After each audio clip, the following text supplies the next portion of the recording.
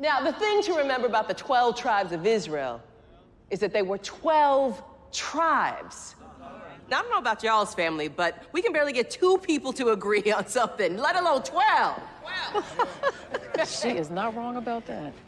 But somehow, Moses got all the tribes of Egypt to agree to do this strange, bloody thing to slaughter their firstborn lamb and to paint the doorways with its blood.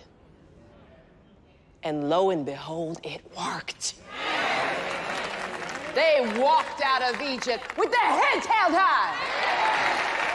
The sea itself parted out of respect for their unity of purpose. Amen. Right. How did Moses do all of that? How did he do that? I never that? heard Moses used as a uniter in that way. Or was it Moses? Very on brand. It was God who did it. It was God who did it.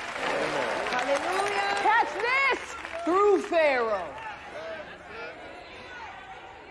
Every time Pharaoh gave an order, every time he moved God's people this way and that against their will, he united them against a common enemy.